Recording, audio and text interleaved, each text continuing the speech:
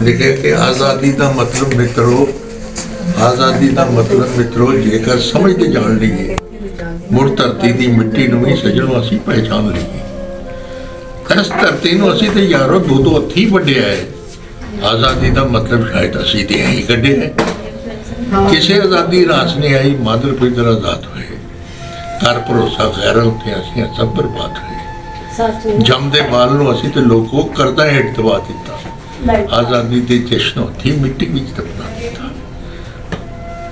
ਲੱਖਾਂ ਵੀਰ ਜਵਾਨਾਂ ਨੂੰ ਕਟਵਾ ਕੇ ਪਾਕਿਸਤਾਨ ਲਿਆ। ਧੀਆਂ ਭੈਣਾਂ ਦੀ ਅਸਮਤ ਨੂੰ ਲੁਟਵਾ ਕੇ ਪਾਕਿਸਤਾਨ ਲਿਆ। ਖੂਨ ਖਰਾਬੇ, ਨਫ਼ਰਤ ਵਾਲੀ ਅੱਗਾਂ ਸਾੜ ਸਵਾ ਕੀਤਾ। ਸੰਤਾਲੀ ਦੇ ਜਜ਼ਬੇ ਨੂੰ ਕਿਉਂ ਦਿਲ ਚੋਂ ਸਿਆਣਾ ਕੀਤਾ? ਆਜ਼ਾਦੀ ਦਾ ਇਹ ਦਿਹਾੜਾ ਆਈ ਸਾਡੇ ਤੋਂ ਪੁੱਛਦਾ ਹੈ। ਚੰਦ ਤਾਰੇ ਤਾਂ ਸਭ ਦਾ ਜੱਡਾ ਹੁਣ ਹੁਣ ਕਿਉਂ ਸਾਨੂੰ ਦੁਖਦਾ ਹੈ? ਇਹ ਤੇ ਆਜ਼ਾਦੀ ਦਾ ਪ੍ਰਜਮ ਸਾਡੀ ਅੱਖ ਦਾ ਤਾਰਾ ਹੈ। ਇਹਦੀ ਧਰਤੀ ਸਾਡੀ ਆਜ਼ਾਦੀ ਦਾ ਹੀ ਗਹਿਵਾਰਾ ਹੈ। ਕਿਸ ਪਰੇ ਵੀ ਇੱਥੇ ਚੜ ਕੇ ਆਪਸ ਵਿੱਚ ਪੈ ਲੜਨੇ ਆ। ਕਿਸੇ ਤੇ ਫਤਵੇ, ਕਿਸੇ ਤੇ ਤੋਮਤ ਲਾਲ, ਕਿਉਂ ਅਸੀਂ ਮਰਨੇ ਆ? ਅਜੇ ਵੀ ਡੁੱਲੇ ਬੇਰਾਂ ਦੇ ਛਾਪੇ ਨੂੰ ਰਲ ਕੇ ਬੰਨ ਲੇਗੀ ਜਿਹੜੀ ਆਫਤ ਮੁਲਕ ਤੇ ਆਏ, ਆਪਣੇ ਸੀਨੇ ਚੱਲ ਲੇਗੀ ਆਓ ਰਲ ਕੇ ਅਹਿਦ ਕਰੋ। ਇਸ ਮੁਲਕ ਨੂੰ ਅਸੀਂ ਸਵਾਰਾਂਗੇ। ਜਿਹੜਾ ਮੈਲੀ ਅੱਖ ਨਾਲ ਵੇਖੇ ਉਹਨੂੰ ਰਲ ਕੇ ਮਾਰਾਂਗੇ।